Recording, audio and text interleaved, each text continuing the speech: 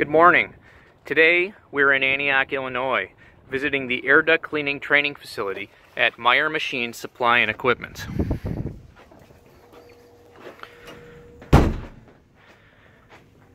As we take a walk through their retail shop, we'll get to see many of the items that they have to support the air duct cleaning industry.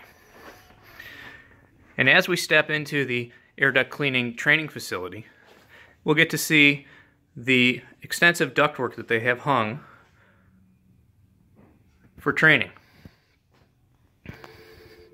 Today we're going to demonstrate how a strong vacuum collector can collapse ductwork if dampers are closed or if too many openings are covered.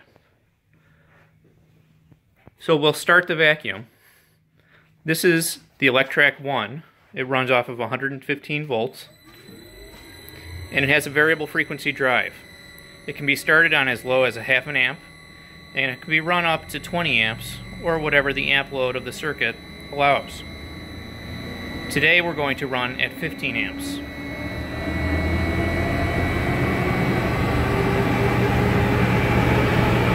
As we increase the amperage, airflow through the vacuum increases. we see a weak point in the duct right here. That has already started to bow. Currently we have all dampers open and we're going to start closing them.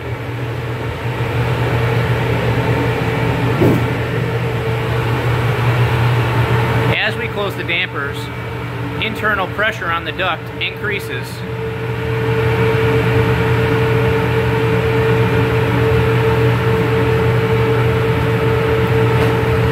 causes further collapsing of the ductwork.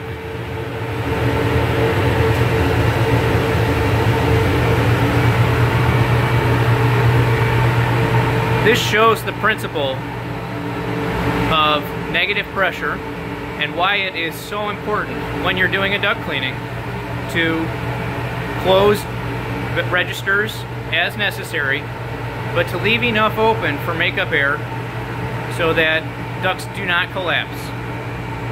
Thank you for the time today.